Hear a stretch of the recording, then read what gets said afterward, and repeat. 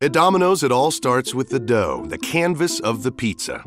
The dough for our hand tossed and pan pizzas is fresh and never frozen. We'll add some cornmeal to the surface to make sure it doesn't stick.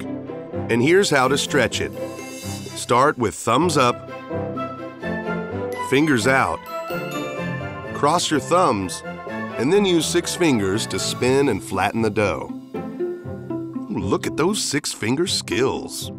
Stretch the dough until it has a pencil thin edge.